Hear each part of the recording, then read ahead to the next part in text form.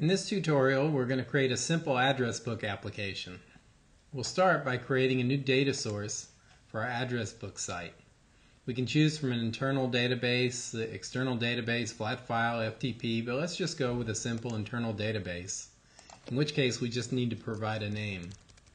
And I'll just call it address book and click finish. So now we have a data source for our site. I'll open it up and it'll bring up an empty DataBox window. Here we'll go ahead and add our first file. We'll just call this file hello. This will be the start point.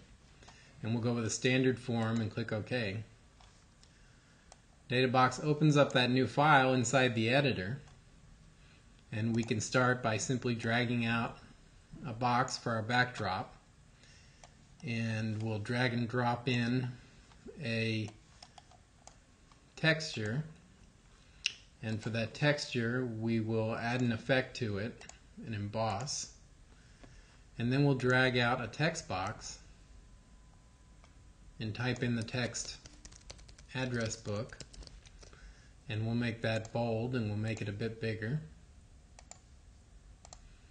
And we'll go ahead and put a drop shadow on that. Then we'll go ahead and drag and drop in an image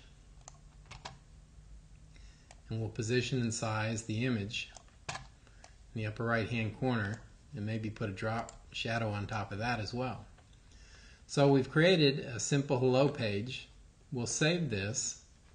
We can go to the viewer and then we can say preview in browser to see what our applet looks like so far.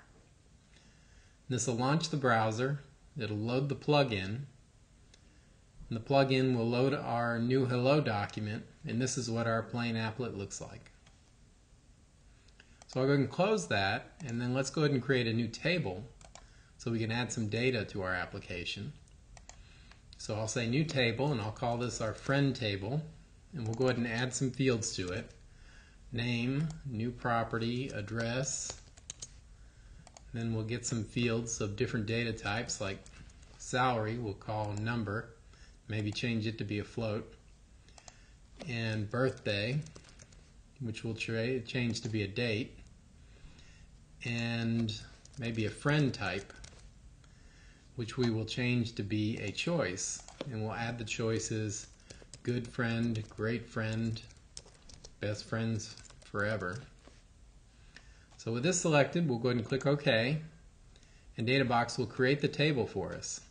So now we can populate it with some sample data just by clicking Add Record. And we'll go with our friend John Doe on Main Street who makes $10,000 and his birthday is today and his friend type is good. We'll add another friend, Susan Smith, on Elm Street.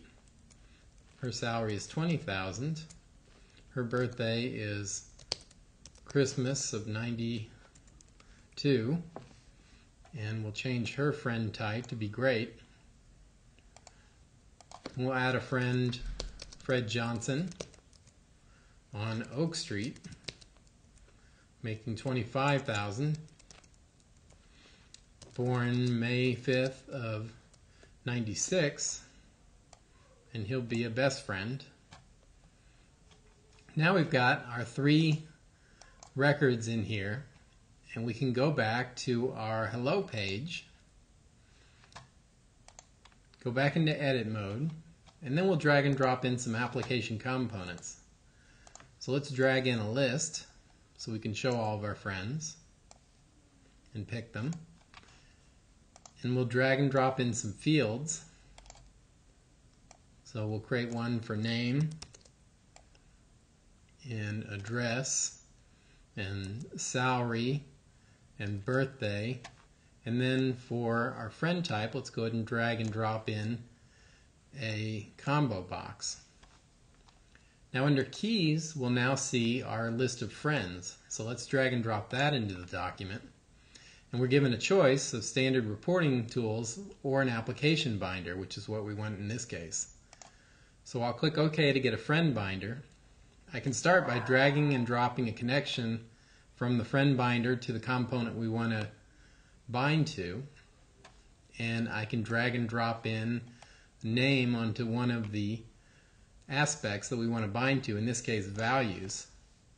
But I can also drag and drop keys straight onto the components and it'll choose the most logical aspect to bind to. So here we might drag in name and address, salary, birthday, and friend type.